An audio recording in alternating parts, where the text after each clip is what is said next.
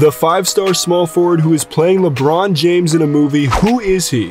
This is Oregon commit Mookie Cook, and he's the fifth-ranked prospect in the class of 2023. During his junior season, he contributed 11.8 points and 5.2 rebounds per game for AZ Compass Prep's second consecutive run to the Geico Nationals tournament. Before Cook and company run it back for his senior season, the 6'7 forward is attempting to fill some historic shoes in the upcoming drama Shooting Stars. The film is based on the 2009 book about LeBron's life as a prep phenom and the trials and tribulations at St. Vincent St. Mary, along with his close-knit friends known as the Fab Four. Cook is joined by Stranger Things star Caleb McLaughlin, who's playing Dru Joyce III, one of LeBron's best friends and son of St. Vincent coach Dru Joyce II. Juwan Howard's son, a four-star 2022 small forward and Michigan commit Jett, is playing Carmelo Anthony, who was both a friend and rival of LeBron during his time at Oak Hill. The movie is set to release on Peacock in 2023, and that's who